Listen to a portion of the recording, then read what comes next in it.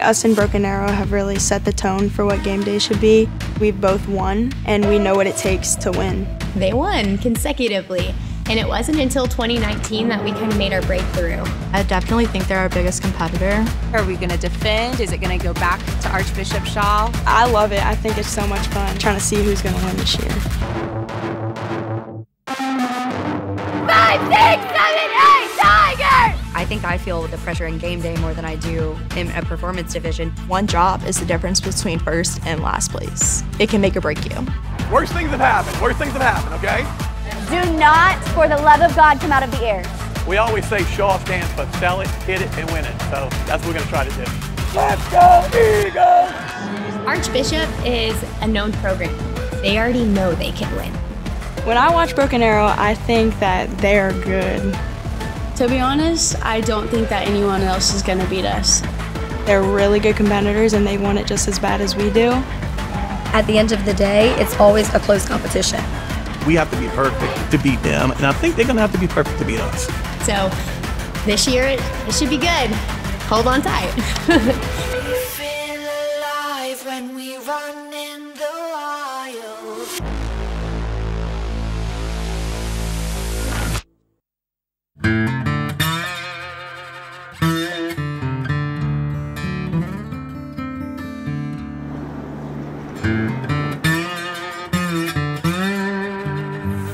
Archbishop Shaw is in Marrero, Louisiana, and we're about five miles outside of New Orleans.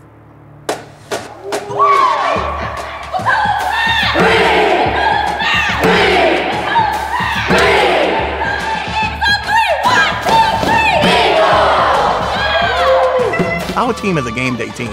If you see us at a football game or a basketball game, that's what we do. We're a game day team. We're not really a traditional competition style team.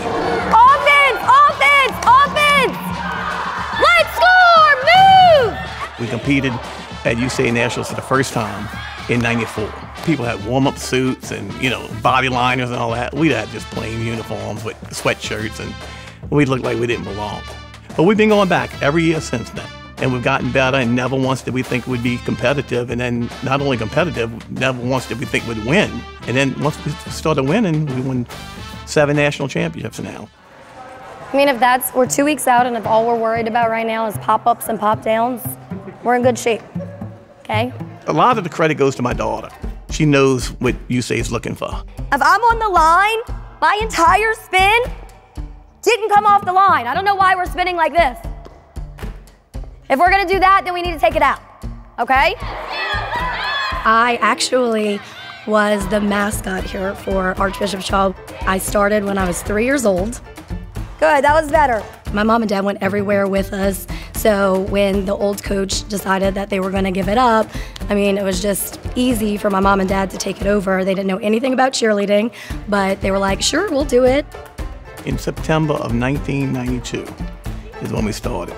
I've always been a little league baseball coach and football coach, so I kind of knew about organization and kind of knew about discipline and stuff like that.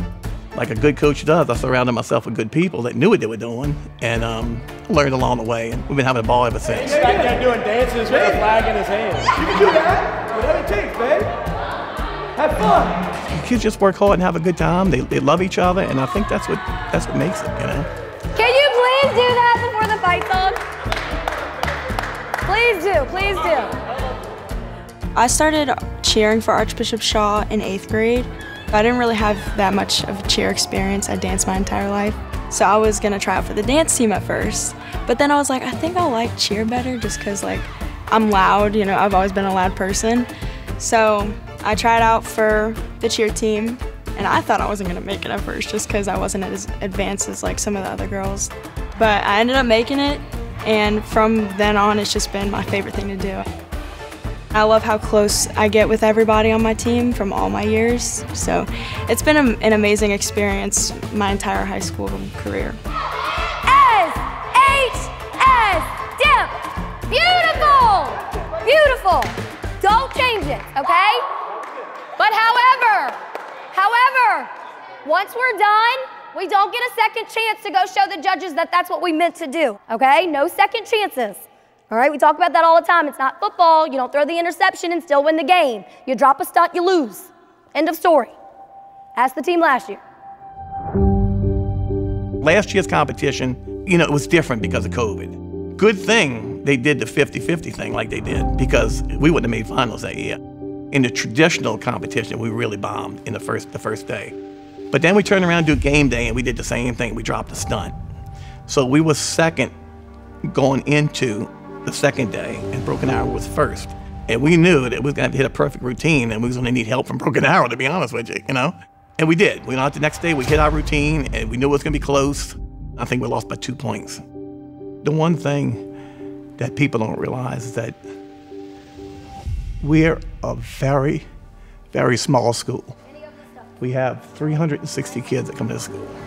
And we're competing against teams that have two and 3,000 people in their school. Just being able to compete, finish first, second, or third is, is you know, unbelievable to us, you know? And so when we go in with, with our small school and our small team and compete against these big boys and win, it is, is so much more gratifying. But with that said, we know who's the best and we know who we, we chasing.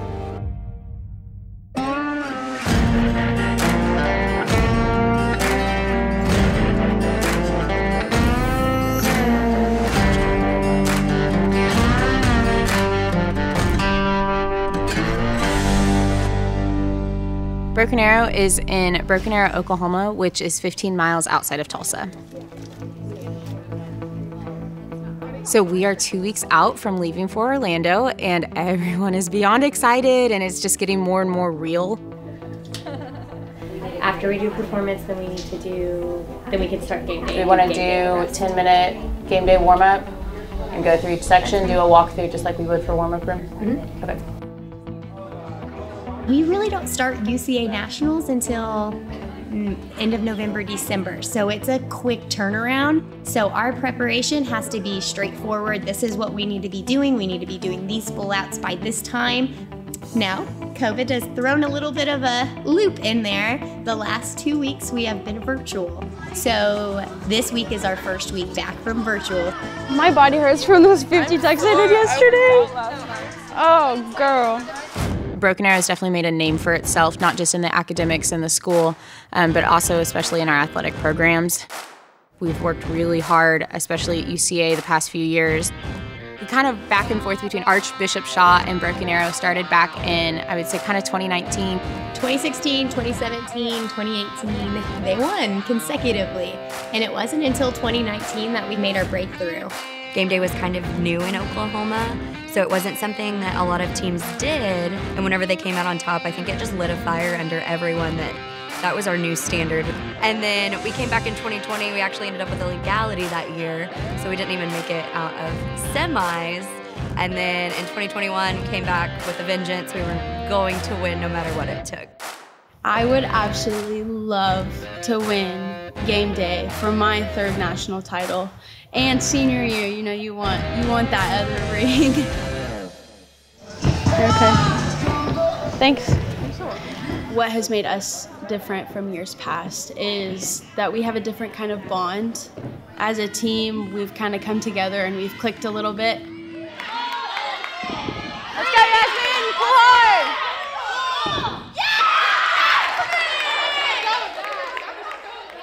We're gonna do a walkthrough. Go ahead and get set. We're gonna walk through so we still have time to pump up before we do our full out. Cool? Walk through. Here we go. Welcome to the floor, Broken Arrow Varsity! We have pretty tough practices. It's not a in and out, you're done, you're great. We have this expectation that until we hit it perfect, we're not going to move on. So we might be here for two and a half hours, we might be here longer, depending on where we are that day. We are definitely starting to hit it hard again. Obviously, in cheerleading, we have athletes that move on and off different floors because of injuries, grades, someone who just might be better in that position. And so, as we move people in and out, we need to start cleaning it, and we're really getting down to the nitty gritty. Drag! T up. Use your legs. Use your legs. Dip and shrug it up. Right now, it looks like you're like pushing her backwards. Don't pull. Make sure that it's like staying controlled and you're helping assist it right back up. Okay? Hey, just stay tight. We got this. You did 20 yesterday. Our nerves have kind of kicked in a little bit, but I think that being two weeks away, it makes you work a little bit harder in practice. Last one. got it. No! Crash and burn. Good catch! Okay, one more. Preparing for nationals is a little stressful because you have hard practices and you're doing the same routine over and over and over again just to perfect it as much as you can before you leave. But doing those skills over and over again really helps boost my confidence. I'm very thankful for the hard work that has carried over from last year to this year, and I think this year will be a good year. How do you feel about what you just did? Lily, do you have something? Uh, I thought the energy was good, just skills can always be. Exactly. I, I would agree. Energy was really good. It's just the skills. But at this point, right before we go, we need to be working on our showmanship and performing, not working on our skills. Your motions are looking better. We're sharp where we're supposed to be, but our faces just look like, I'm so exhausted. I said a word. Um, start building your stamina like here. Like, give 110% here so you can get 150% at nationals. Like, don't like settle for 100. Like, go above.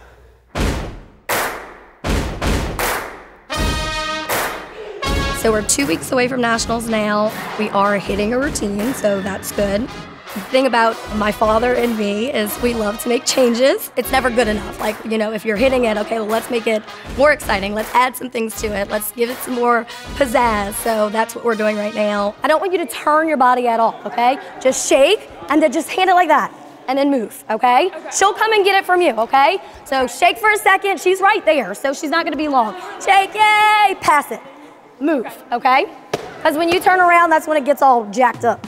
Last year we competed in both traditional and game day, but since we have like a newer team and like a younger team, we thought it would be better to just stick to game day this year. Last year we had a real strong senior field team. This year it's really different.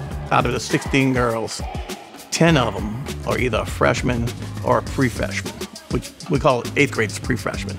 We have two juniors and four seniors, so we're really, really young. Out of our eight guys, we have a team, six of them are seniors. But all eight guys, this is their first year ever doing this. They have no clue what's getting ready to happen at Nationals. The girls were talking to us and they said, like, we need guys. So, like, four or five of the guys on the soccer team were like, okay, we'll do it. I mean, might as well. It's senior year, so we wanted to have something else to do. I've definitely enjoyed it, and they have too. Like, the other guys, we kind of wish that we would have done it sooner. The other thing about our, our guys is they all do something different. We have soccer players, we have a band member, we have a, a wrestler, we have a lacrosse player. You know, just trying to work around everything to try to compete. That's the hardest thing. Good, Riley. Way to squeeze. Okay, and then remember, it's not over once you go SHS Eagles. You can't look like your dog just died, okay? You gotta pop off, you gotta be exciting. Do not stop doing that until you get off the green mat, okay? And if, even if something goes wrong, you pretend like it was the best thing you ever did since UCA was invented, okay? And then once you get off the mat, then we'll talk about it, okay? All right, go get a quick sip of water, and then we're gonna come back and we're going full out. Everyone come here. You can do this in your sleep. Okay? Technique. So just add a little flair to it. That's what you should do every time you step out. Have fun, okay? Okay. We got y'all. Pump yourself up. Here we go. Game day is really cool because it is so different from the traditional aspect of cheer. It's taking that band dance section, the sideline cheer, and the fight song and putting it all together. Everything that you'd normally see at a game, but more in a competition setting so that you can see everything at one time. This might be the best game day routine that Broken Arrow has ever put together. It's just so effortless and it's so much fun. So the routine this year, I actually didn't think I would ever make something up that I loved as much as I did last year's. Their band chant is just so fun to watch and it's so entertaining and just crowd focused. And then we've kind of started a tradition at Broken Arrow. We do a big tiger split for our first stunt in the cheer. I mean, it's been really special to watch it all kind of unfold. We have a lot going on, and that's on purpose. And it only looks right and does its job when everything is being clean and sharp and really taking that fun enthusiasm to lead the crowd with it. That's Broken Arrow. When I watch Broken Arrow, I think that they're good. I love how spirited they are. I love how their stunts go up. They're really good competitors and they want it just as bad as we do. They have the flags, they have their dance, they have stunts all at the same time, and it's so energetic. It really looks good. It looks very collegiate. Their choreography is great, and so I like to look at what they do compared to what we did. Like any coach, we'll break down the scores and we'll see where they got us or where we got them, where we can improve. There's always going to be pressure that comes with when you win a national championship. That's who people are going back to watch. So I think that's where you kind of have to step up your game. This is worth the most amount of points, so we got to make sure this is good. Broken Arrow is a very good program. We don't have to worry about other people because of what we put in day in and day out. Once we get to that excellence routine and we're consistent with that excellence routine, I don't think anyone can touch us. Much better. That's what it needs to look like first time, second time, third time, every time.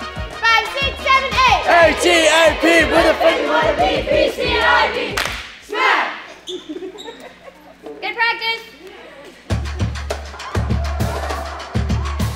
Think the whole game day feel is something that both Broken Arrow and Archbishop Shaw do very well. Keep it up, keep it up. We always score really well in the band dance. It makes people look up and say, well, who's that? It's the first thing that we do. We come out, we're very exciting, we're very loud. Sounds like we have an army out there. Our dances are good, you know, our, our cheers good.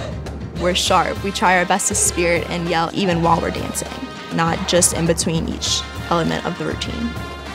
Our routine this year is not real difficult, you know, stunt wise, because our guys are brand new, and our girls are babies. But you'll see us do solid stunts. Every time Cody adds something to it, it gets better and better. And, and I'm really, really excited about it. Archbishop is super talented. They always look like a very true co ed team. It's just always fun to watch, and I think that's one of the most important parts of game day. And I try to always coach my kids to do that also. Like, I want you to go out there and have so much fun that those judges stop what they're doing and they get to kind of just sit there and watch. That's what I tell my team all the time is if you want to win, you need to have fun. That was awesome, y'all. Awesome. Very good. Their program has definitely been a winning program, and that's something that's hard to compete with. So if they're already winning, it's easier to get in your brains that you can win. Hey, we're only two weeks out, gang. Make sure we keep working. We got to be better tomorrow than we were today, better the next day than we are tomorrow. Our goal for nationals is just to go out there and be the best we can be. I'm not going there to win. I'm going there to have fun and make memories with my team. But it's always nice to win.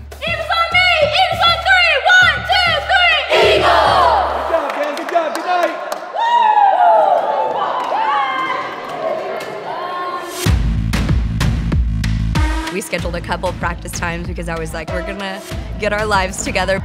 Quit second guessing yourself and keep your crap in the air. Come. If I see one more person make a terrible face, I'm going to literally lose my crap. We have to go out there and be the absolute best team that is here. You have to sell it in semis first, and then if you get in the finals, you have to sell it even harder. Get out there and show them the Shaw energy. All right, now you got to just hit it. One, two, three, Eagles. We had some issues, but nothing we can do about it now. And our final team moving on